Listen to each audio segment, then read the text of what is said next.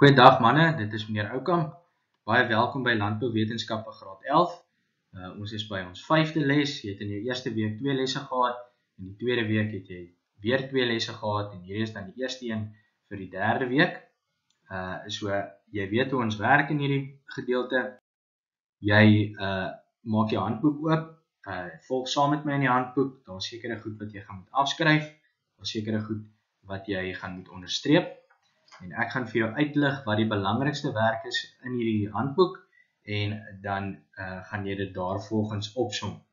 Uh so waar ons vandag trek, ons gaan begin met grondtekstuur. Ons het in die vorige video die eerste gedeelte gedoen oor grondtekstuur waar ons gepraat het oor die definisie van grondtekstuur.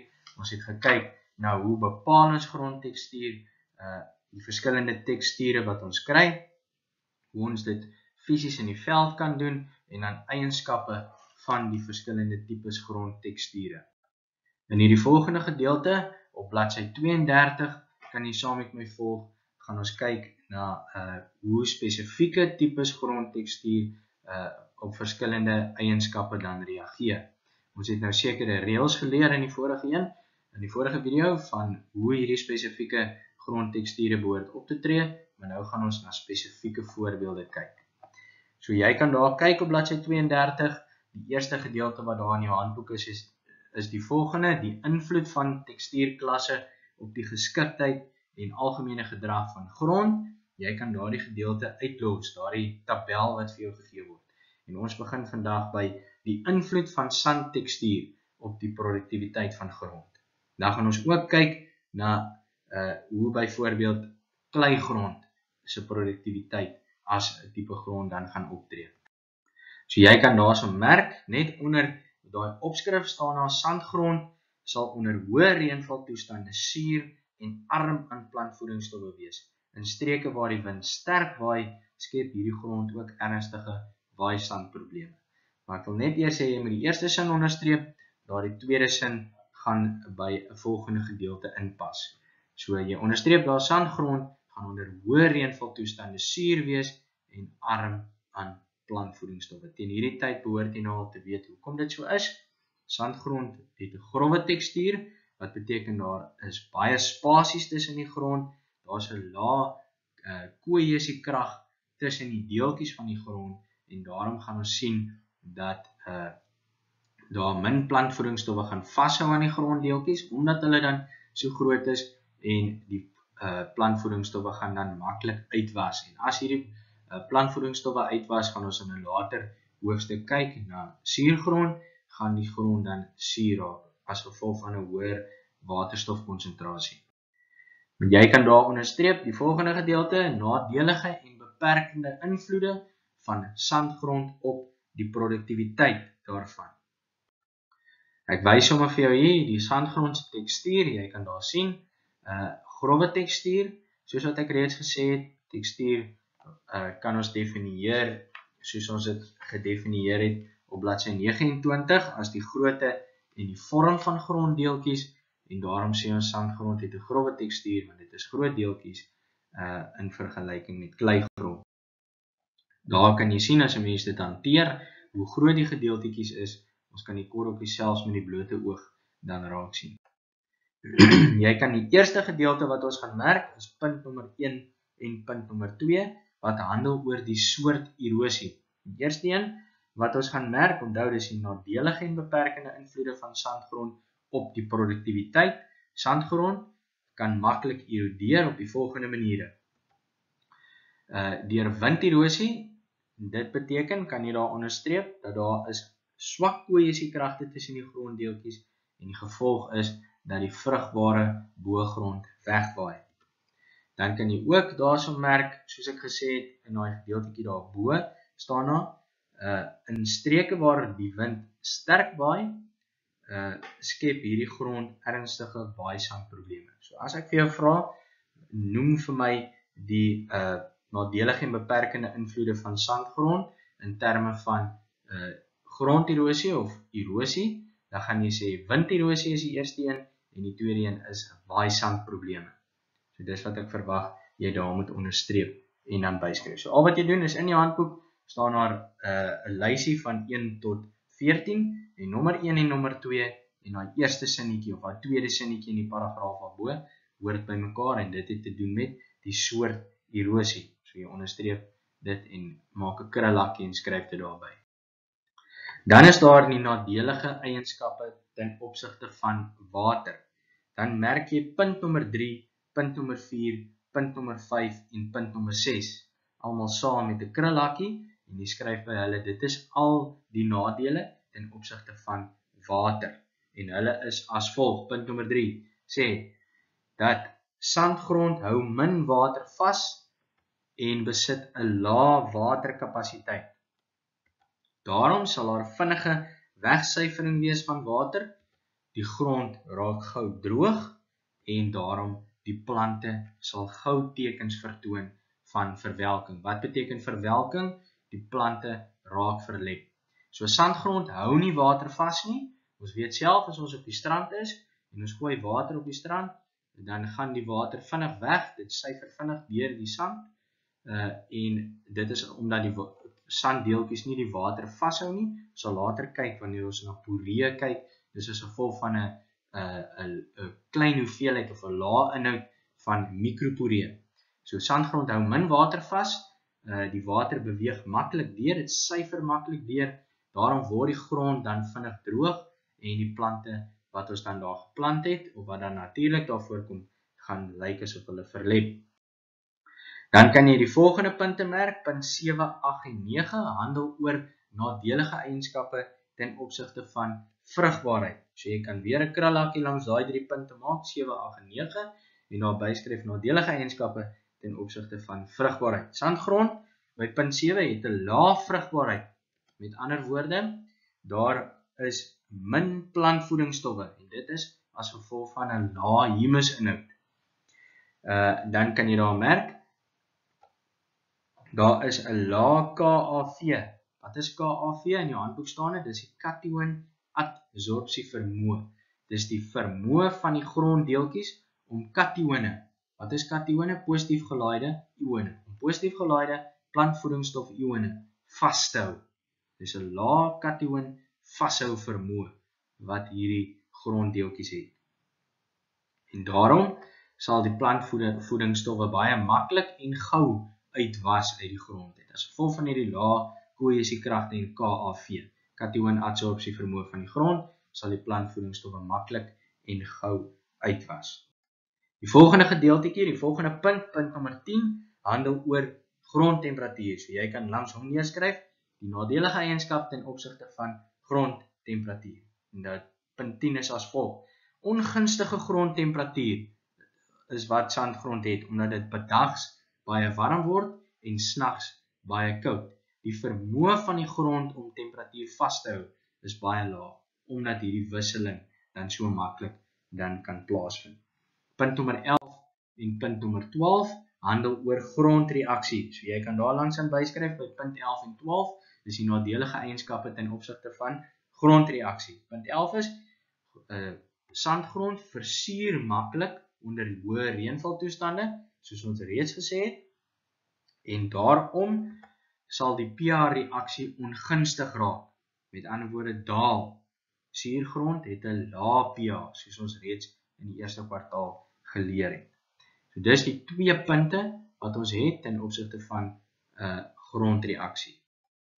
Dan kan jy daar merk punt nommer 13 en punt nommer 14 handel oor die nadelige eienskappe ten opsigte van besproeibaarheid. So jy skryf langs punt nommer 13 en 14 maak jy 'n krulakkie of jy omkring hulle en jy skryf daarby nadelige eienskappe ten opsigte van besproeibaarheid. Dan kan jy daar merk. Besproeibaarheid word bemoeilik en gevolglik moet die tydsduur tussen besproeiings kort wees. En dan by punt nommer 14 uh gevolglik word baie water benodig om goeie produksie te verkry. So ons gaan nog steeds 'n klomp water vir hierdie grond of vir hierdie plante op die grond toedien, maar ons gaan die tydsduur tussen die besproeiings, ons gaan meer gereeld water gee. En daarom gaan ons meer water gee om 'n spesifieke produksie te kry omdat hierdie grond dan water nie vashou nie en dit so maklik dan kan wegsyfer. So, hoe gaan ek dit vir jou vra? Ek gaan vir jou vra in die vraestel uh, vir byvoorbeeld 4 punte. uh bespreek die nadelige eienskappe ten opsigte van besproeibaarheid van grond met 'n grouwe tekstuur soos sandgrond. Nou gaan jy sê, besproeibaarheid word bemoeilik tot vir een punt en gevolglik moet die tydstuur tussen besproeiings kort wees vir die tweede punt. Dan kan jy daar vir die ook neerskryf, gevolglik word baie water benodig vir die derde punt om goeie produksie te verkry vir die vierde punt. Net so by al die punte kan ek dieselfde tipe vraag vra. So nou weet jy hoe ek hierdie werk vir jou kan vra in die vraestel. Dit bring ons by die volgende gedeelte, praktiese maatreëls wat die boer kan toepas om sandgrond se produktiwiteit te verbeter. So ons weet sandgrond met 'n grouwe tekstuur se produktiwiteit is laag, maar wat kan ek as boer doen om hierdie produktiwiteit te verhoog? Wat kan ek doen om dan nou 'n uh, beter kwaliteit uh, produksie of 'n hoër produksie uit hierdie grond uit te kry. Die eerste punt is rig windbreuke op en pas deklaagbewerking toe. Dis punt nommer 1. Hier wys ek dit vir jou. Hier is 'n plaas wat windbreuke opgerig het tussen hulle lande of tussen hulle boorde sodat die effek van daai sandgrond wat wegwaai dan nou verminder. Uh en dan as ek deklaagbewerking toepas, verhoog ek natuurlik die waterkapasiteit uh en die water vashou vermoë van die grond en ons kry die uh, verhoging dan van humusfraksie in na die grond en as daar dan nou deklaag bo oor die grond lê, beteken dit die erosie sal verminder. So ek kan vir jou vra, noem twee maniere hoe sandgrond die erosie van sandgrond verminder kan word en jy gaan vir my sê die op op uh uh die oprig van windbreuke en die gebruik of toepassing van deklaagbewerking. Ek wys net sommer vir jou nog 'n voorbeeld en dan hier is 'n ou wat baie sterk deklaagbewerking toegepas het. Hier plant hy sommer tussen in lewendige grasse of gewasse uh wat dan nou sy deklaag gaan vol, gaan uh, wees. En hier kan ons sien is 'n ou wat mielies geplant het uh en duidelik kan jy tussen die rytjies sien dat daar organiese materiaal is uh soos wat hy dit dalk doodgespuit het uh voordat hy hier geplant het en dan optree as 'n deklaag. Die volgende punte kan jy daar onderstreep: verhoog die grond se humusfraksie. OK, dit het ons al vir mekaar gesê, wanneer ek die humusfraksie verhoog, dan verbeter ek ook die struktuur tot 'n krummelstruktuur. In die volgende afdeling gaan ons praat oor grondstruktuur en gaan ons bietjie meer uitbrei oor die voordele van krummelstruktuur. En omdat die humusfraksie dan verhoog, sal die grond se kation adsorpsie vermoë ook verhoog en minder plantvoedingsstowwe sal dan uitwas. So die belangrikste ding, hoe kan ek die uh, produktiwiteit van sandgrond verhoog? Voeg humus by. Hoe gaan ek humus byvoeg? Deur deklaagbewerking of deur my oesreste op die land te los nadat ons geoes het. In plaas van om dit in te werk of of die, in plaas daarvan om dit dan te verwyder of te verbrand, los ons die oesreste daar. Ons kan dit selfs in die grond inwerk en dan gaan dit veroorsaak dat hy organiese materiaal gaan ontbind. En as organiese materiaal ontbind, kry ons die vorming van die humus en dan verhoog ek die humusfraksie, die struktuur verbeter, die watervashou vermoë van die grond verbeter, die uh kation adsorpsie vermoë van die grond verbeter, die plantvoedingsstof vashou vermoë verbeter. Daarom en dan sal minder plantvoedingsstowwe uitwas, die grond sal vrugbaarder wees en uh dan nou hier bykomende voordele hê soos byvoorbeeld 'n verbeterde struktuur. Ek wys sommer vir jou hier van organiese materiaal wat toegedien is. Aan die linkerkant kan jy sien is 'n donker grond. Hulle wys sommer vir jou dat daar nog organiese materiaal onder die grond uh teenwoordig is wat nog in humus omskep word. Aan die regterkant kan jy sien hierdie organiese materiaal word deur mikrobes en aardwurms uh om omgeskakel na humus toe.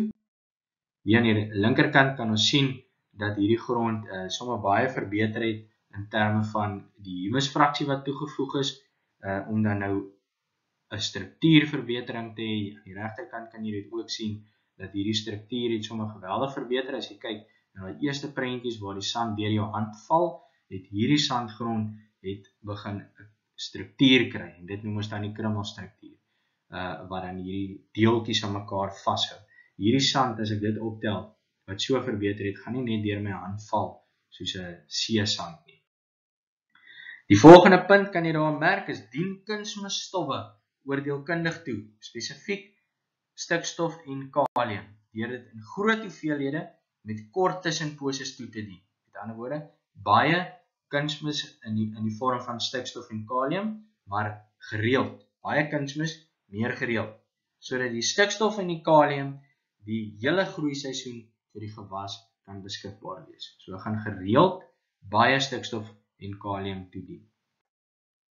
En dan kan jy ook daar onderstreep dien 'n gebalanseerde bemesting toe uh met ander woorde ten opsigte van al die makro en mikroelemente aangesien sandgrond arm is aan plantvoedingsstowwe en jy kan daar net byskryf aan die einde van daardie punt 6 volgens grondontledings en blaarontledings. Met ander woorde wat hierdie gedeeltjie vir my sê, wanneer ek my grondontledings en blaarontledings laat doen op van die grond nadat ek profielgate gegrawe het of dan nou monsters van die spesifieke gewasse of ons vat gewoonlik blaarmonsters by vrugtebome as ek daardie monsters gevat het, dit laat ontleed het by 'n uh, laboratorium en teruggekry het presies watter tekorte van die spesifieke makro en mikro elemente of minerale in die grond, as ek weet watter makro of mikro elemente daarvan 'n tekort is, dan dien ek daai spesifieke makro en mikro elemente toe in 'n gebalanseerde uh, bemesting of dan nou 'n kunsmis. So ons laat die ontledings doen en daarvolgens bepaal ons watter tipe kunsmis en hoeveel van hierdie spesifieke elemente ons dan gaan toedien.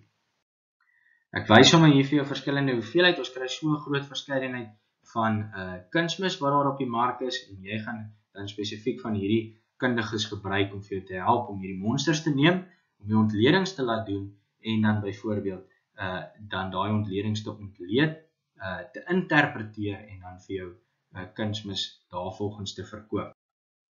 Hierso is sommer 'n 'n boer wat besig is om sy kunsmis toe te dien. Uh soos wat jy kan sien met die kunsmisstrooier volgens die behoeftes van daardie spesifieke land. Die volgende punt kan jy daar onderstreep, punt nommer 7 bo aan bladsy 33, dien besproeiing oordeelkundig toe deur middel van geskeduleerde besproeiing. Met sprinkel, drup en of mikrobesproeiing moet die tydsduur tussen besproeiings kort wees. En dan sê hulle baie belangrik, ons gaan nooit vloedbesproeiing op sandgrond gebruik nie. So watter tipe besproeiing gaan ek gebruik? Ek gaan geskeduleerde besproeiing gebruik. Hier is die definisie wat jy moet byskryf. So daar by punt nommer 7 op bladsy 33 waar daar staan geskeduleerde besproeiing, skryf jy vir my hierdie by as 'n definisie. Wat is geskeduleerde besproeiing? Dis om die regte hoeveelheid water op die regte tyd volgens die plant se behoeftes toe te dien en die hulpmiddel wat ek gebruik is gerekenariseerde besproeiing. Watse tipe besproeiing gaan ek gebruik? Geskeduleerde besproeiing. Wat is die hulpmiddel wat ek gebruik? Gerekenariseerde besproeiing. Wat beteken dit? Ek gaan 'n rekenaar hê uh wat die hoeveelheid water en die gereeldheid of die tussenposes tussen die toediening daarvan vir my gaan beheer. Ek kan dit so gebruik. En hoe bepaal ek die regte hoeveelheid water wat op die regte tyd toegedien moet word? Ek moet die plant ken, ek moet die behoeftes van die plant of die gewas ken wat ek verbou en ek moet ek kan iets soos byvoorbeeld tensiometers gebruik om die voginhoud van die grond te bepaal om dan toe te sien dat daar genoeg water op die regte stadiums in die plant se groeifases uh dan nou beskikbaar is. Hierso wys ek sommer vir jou is 'n mooi voorstelling van water of dan 'n besproeiing, water wat ons moet toe toedien. As ons aan kyk aan die een kant die hoeveelheid water wat toegedien word aan die linkerkant en aan die regterkant die hoeveelheid water wat uit die stelsel uitgaan, met ander woorde deur verdamping of transpirasie of dan nou die waar die gewas die watermolekules gebruik, opneem en gebruik, dan moet daar 'n balans wees.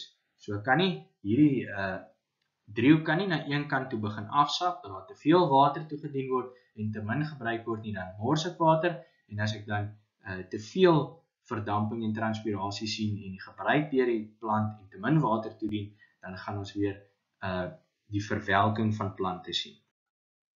Hier wys ek sommer vir jou die gerekenariseerde programme wat beskikbaar is. Hierdie spesifieke probes, as ek dit so kan sê, monitor die hoeveelheid water vog wat daar in die grond is en die, hierdie uh, program of hierdie rekenaar hierdie uh, tensiometers of vogmeters gaan dan hierdie inligting deurstuur na rekenaar wat dan die spreiers of dan nou die besproeiingsvorm wat ook al dit mag wees uh, aan of afskakel volgens die vogbehoefte van daai plant of daai stuk grond spesifiek. Hier is 'n voorbeeld van sprinkelbesproeiing. Ons het gesê die drie tipes besproeiing wat ons gaan gebruik uh op sandgrond, is sprinkelbesproeiing, drupbesproeiing en mikrobesproeiing. Hierdie is sprinkelbesproeiing met 'n spreier, 'n meer algemene vorm wat ons het uh en hierdie word spesifiek dan nou met goukoppelpype uh geskuif. Dis nie 'n permanente stelsel nie. Hierdie pype word opgetel en dan in 'n volgende ry gelê uh waar die spreiers dan saam met dit skuif. Hierso is 'n voorbeeld van mikrobesproeiing, uh ekskuus, drupbesproeiing. Uh drupbesproeiing is waar hierdie spesifieke pyp dan bo-oor elke plantjie lê en by elke plantjie wat daar is, ons gaan uh moet daar 'n gaatjie wees waar dit druppeltjies water dan uitkom. So in hierdie spesifieke metode gaan ons dan nie op iets soos koring gebruik uh of mielies of so iets nie. Hierdie gaan ons gebruik by iets soos pampoene of selfs by vrugtebome of so 'n verskeidenheid want daar moet by elke plantjie 'n spesifieke gaatjie wees om water toe te dien. Die vermorsing tussen die plantjies van water is dan baie minder in so 'n uh, tipe stelsel. Hier is 'n voorbeeld van mikrobesproeiing. Uh hierdie spreiertjie staan dan by die bas uh, by die stam van die bome uh of dan by die stam of uh by die uh, uh gedeelte van die plant wat dan in die grond ingaan uh, sal ons dan hierdie sproeiertjies kry wat dan water aan aan plante, veral dit bome uh, op hierdie manier toedien met 'n fyn sproei wat uitgelaat word. Weereens die water word versprei in fyn druppeltjies, maar daar is minder vermorsing tussen die hoeveelheid plante. So dit werk ook goed en dis veral 'n uh, 'n uh, 'n goeie metode dan in vrugtebode. Hierso wys ek sommer vir jou vloedbesproeiing nooit ooit op sandgrond nie. Ons gaan nooit vloedbesproeiing op sandgrond toedien nie want ons gaan 'n geweldige vermorsing van water kry. Hoekom is dit so? Want die water syfer baie vinnig deur die grond. Ons vermors die water en baie plantvoedingsstowwe word dan uitgewas deur hierdie uh vloedbesproeiing, hierdie water wat deur beweeg.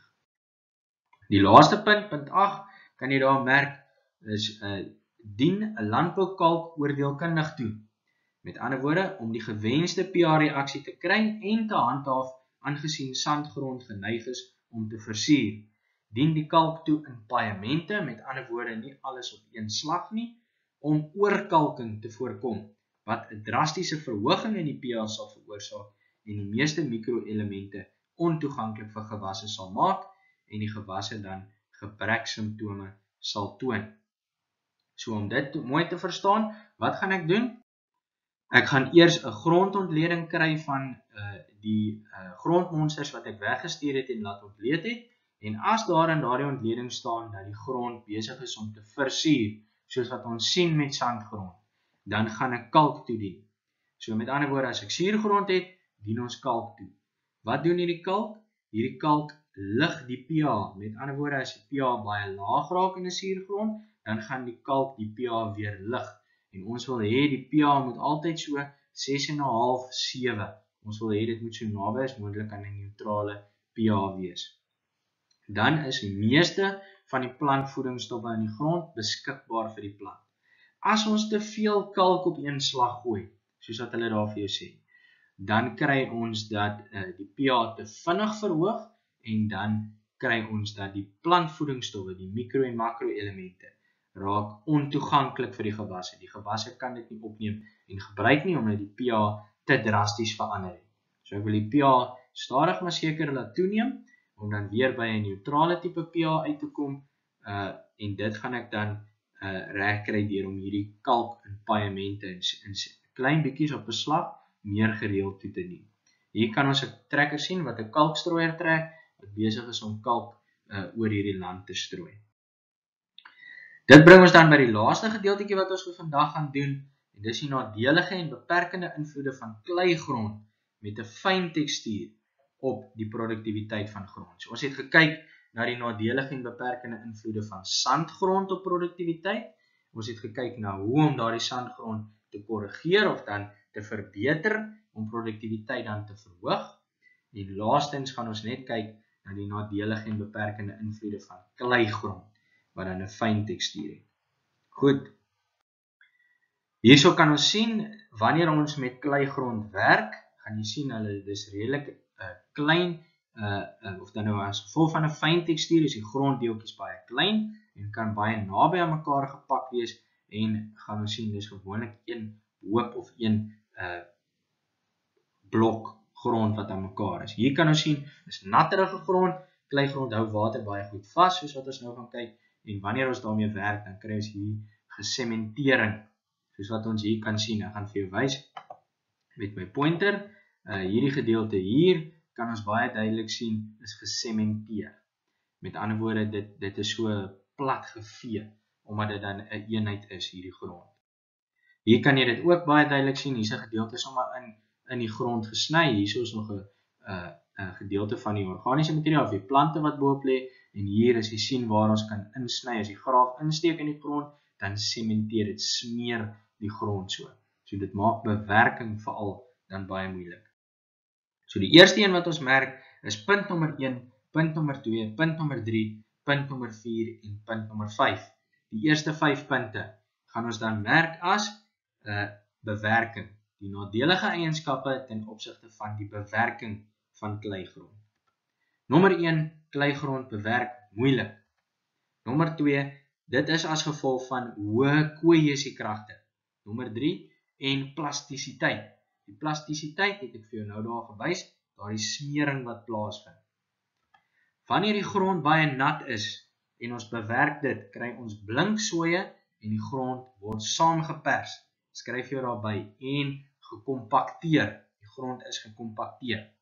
En wanneer ons met die grond werk, wanneer dit baie droog is, dan kry ons dat harde klei te vorm. Die struktuur word vernietig en jy kan vir jou daarby skryf en stof vorm. Sodat as ek vir jou byvoorbeeld in die vraestel vra, gee vir my 5 punte uh waarom of die nadelige eienskap of die nadelige invloed van bewerking kleigrond met 'n fyn tekstuur uh dan gaan jy vir my hierdie 5 punte neerskryf. Of ek kan vir jou spesifiek vra vir 2 punte. Verduidelik waarom dit nie uh voordelig is om op nat kleigrond of met of nat kleigrond te bewerk nie. En dan gaan jy vir my sê blinksooie word gevorm, die grond word saamgepers, saamgepers en gekompakteer. Die volgende twee punte, punt nommer 6 en 7, handel oor eenvoudige nadele. Ek wys net weer vir jou hier waar die grond gesementeer is. En dan waar krake vorm, uh spesifiek soos ons gesê het, uh as wat klei te vorm as die grond baie droog is En dan bring dit ons by die volgende punt. Sommige algemene en nadelige punte is die grond het 'n hoë kleifraksie. Uh in die in die boogrond lei dan tot korsvorming, soos ons daar gesien het, die kors wat dan maklik breek. En dan die boogrond verseël en slaan maklik toe. So as ek byvoorbeeld gaan werk in 'n tuin of ek maak 'n groentetuin en ek sit baie kleigrond daarin of dit is 'n kleierige grond, gaan ons sien dat die boogrond verseël, slaan maklik toe en dit maak 'n kors. Wat beteken as ek dan in die grond wil werk, sal ek eers dit met gate moet steek met 'n vurk byvoorbeeld uh om dan die grond uh net los te maak en die plantjies gaan sukkel om deur hierdie boogrond gedeelte dan te groei uh om dan uh die blaartjies bloot te stel aan die son vir fotosintese. En dan kan jy ook daarso merk die kleilaag in die ondergrond beperk wortelgroei uh wat dan ook uh die gewasse se groei en produksie belemmer. So jy kan sommer net dit daar bymerk. Uh jy kan daar net byskryf dat uh nie net die groei word belemmer of verswak nie, maar ook die produksie. So ek kan dit ook vir jou plaas vra. So 6 uh 7 en 8 val albei of al drie sommer net onder algemene nadelige punte. Dan bring dit ons by die volgende een, die nadelige eienskappe ten opsigte van deurligting. En dan kan jy daar merk uh lugsirkulasie is stadig. Dit het te doen met die uitreiling van suurstof en koolstofdioksied met die atmosfeer. Ek wil hê jy moet dit daar byskryf. Daar is baie hoër konsentrasie suurstof in die atmosfeer as wat daar byvoorbeeld in die uh grond is en daar's 'n hoër konsentrasie uh koolstofdioksied in die grond as wat daar in die atmosfeer is. So hierdie twee gasse gaan die hele tyd uitruil met mekaar. Suurstof gaan van die atmosfeer af binne in die grond in beweeg veral in daai boonste laagie van die grond, uh en koolstofdioksied gaan vrygestel word uit die grond. Gaan dan nou uitbeweeg uit die grond uit. En hierdie verruiling van lug binne in hierdie grond gaan dan baie swak wees omdat die lug lugsirkulasie baie stadig is as gevolg van die grond wat uh dig gepak is. Die kleiner uh, gronddeeltjies is digter gepak. Daar's meer mikroporee en baie min makroporee. Daar's baie min plek vir lug in die grond. Die volgende punt, punt 10, uh sê maar net die grond is swak deur lug en dit het te doen met min makroporee, soos ek reeds gesê het. Dan punt nommer 12, 13, 14, 15 en 16, 12 tot 16 het te doen met die nadelige eienskappe ten opsigte van water. So hulle daardie 5 uh, punte gaan jy bymekaar merk en jy gaan hulle uh sommer 'n krullakkie omsit of hulle omring en daar byskryf die nadelige eienskappe ten opsigte van water. Sodat as ek vir jou vra, wat is die nadelige eienskappe van kleigrond ten opsigte van water, dan gaan jy vir my daardie 5 punte kan neerskryf. Eerste een, die absorpsie van water is stadig. Min water of water word baie stadig opgeneem deur hierdie grond. So as ek water gaan gee of besproei, gaan ek sien dat die water maklik poele gaan vorm. Daar gaan maklik water staan op hierdie grond want die infiltrasie, die absorpsie van die grond uh van water is dan baie stadig. Dit bemoeilik besproeiing, soos ons gesê het, besproeiingsintensiteit, wat dan vir my sê ek gaan baie minder water meer gereeld moet toedien as wat ek 'n klomp water op een slag uh kan toedien. Waterbeweging is baie stadig in die grond. Dreinering is prakties gesproke nul soos hulle in die handboek sê, min dreinering van plaas van die water, met ander woorde hierdie deurbeweging van die water van die boonste grondlaag na die onderste grondlaag en daarom tree versuipte toestande maklik in. Met ander woorde die grond is versuip. Water word lank vasgehou omdat dit so stadig uit en deur die grond beweeg. Dit bring ons by die laaste punt wat handel oor grondreaksie en dan kan jy vir my daar onderstreep. Indien grond verbrak, is dit moeilik om die grond te herwin want die braksoute was nie uit nie. Wat is brakgrond? Brakgrond kom voor wanneer daar hoë hoeveelhede van soutte in die grond is. Ons gaan later meer in detail daarna kyk wanneer ons suur en brakgrond doen. So kleigrond wat brak is, is moeilik om te herwin. Hoe herwin ons brakgrond? Ons kan dit op een van twee maniere doen. Ons kan of gips toedien aan die grond, maar ons gaan nie hierna kyk nie. Die uh eenvoudigste manier of die belangrikste manier om brakgrond te herwin is om uh dit die uh soutte wat in die grond is uit te spoel. En hoe ons dit laat gebeur is ons dien baie water toe wat dan die uh soutte as dit ware uit die grond uitwas. En omdat kleigrond die beweging van water so stadig deur kleigrond is en dan so 'n uh, swak dreinering het, um, is dit dan moeilik om hierdie uitwassing van die braksoutte te laat plaasvind. Ek wil hê jy moet hierdie gedeelte in geel vir my daar afskryf Kleigrond is swak gedreineer. Daarom moet dreinering uh deur 'n pypdreinering gedoen word om braksoutte uit die grond te was. Ek gaan dit vir jou 'n bietjie vorentoe wanneer ons brakgrond doen presies wys hoe werk pypdreinering. Uh maar ons gaan hierdie grond moet drein help om te dreineer. So ons gaan spesifiek dan pype in die grond lê wat dan as lugspasies dien waar water kan inbeweeg om dan uitgedreineer te word. En dan die heel laaste gedeeltjie net om vir jou daar te wys, uh die ideale tekstuur wat ons vir gewasse uh wil hê, kan jy daar onderstreep is leemgrond. Dis al wat ek daar onderstreep, die res van daardie paragraaf uh is nie belangrik nie. So ek wys hom vir jou hier, hierso is die grond wat ons wil hê, die leemgrond wat ons soek, met 'n goeie struktuur, maar ook dan nou baie belangrik die tekstuur. Dis 'n vermenging van sand en kleigrond albei se goeie eienskappe. Uh water word makliker vasgehou, water word makliker opgeneem. Uh plantvoedingsstowwe bly makliker in die grond. Die KAV is hoër ensovoorts ensovoorts. Dit bring ons dan by die einde van hierdie uh video soos ek gesê het uh in hierdie gedeelte ons gaan in uh die volgende video 'n bietjie praat oor grondstruktuur op bladsy 34 uh maar jy moet asseblief hierdie gedeelte wat ons gedoen het vir jou opsom Uh, Moenie die handboek oorskryf nie, maak eenvoudige opsommings uh sommer in jou werkboek waar jy kernwoorde neerskryf en 'n paar gedagtes neerskryf uh, vir jou om die werk makliker te verstaan en om dit makliker te onthou en jou leerwerk vir einde van die jaar dan nou uh en vir die Junie eksamen bietjie makliker te maak. Baie dankie.